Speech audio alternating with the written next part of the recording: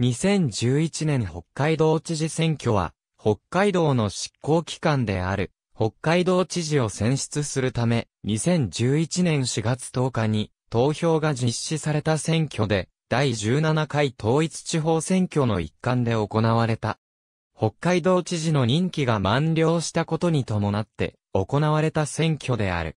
なお、北海道知事選挙は第1回選挙以来一貫して統一地方選挙の日程で実施されている。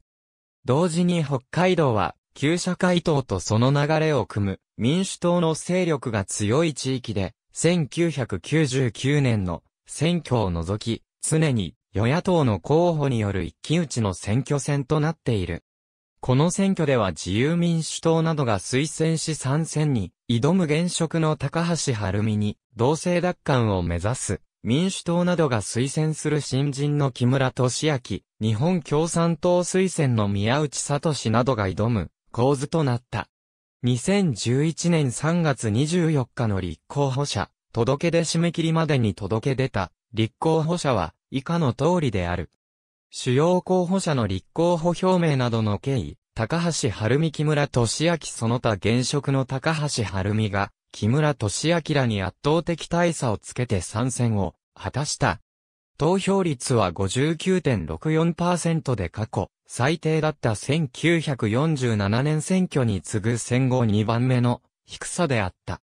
当日有権者数452万5968人、最終投票率59.46%出展、北海道知事の選挙結果当選した高橋の得票は前回選挙で得た173万8000票台をやや上回る184万8000票台となった。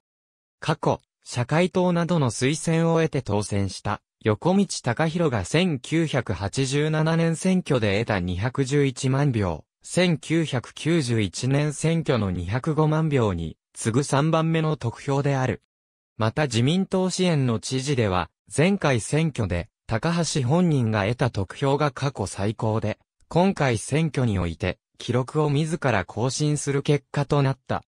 一方、敗れた木村の得票は54万4000票台に止まり、前回選挙において民主党などの推薦を得て出馬して大敗した荒井層の98万票を大きく下回った。この結果、民主党は旧社会党時代も含めて過去最低の結果となり、歴史的惨敗を喫した。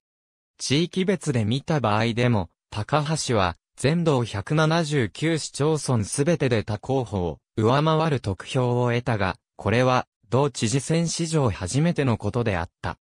また、女性知事で参戦を果たしたのも全国初で、得票率も69.4%を記録、戦後歴代同知事の中で2番目の高さとなった。北海道知事選挙と同時に実施された選挙。ありがとうございます。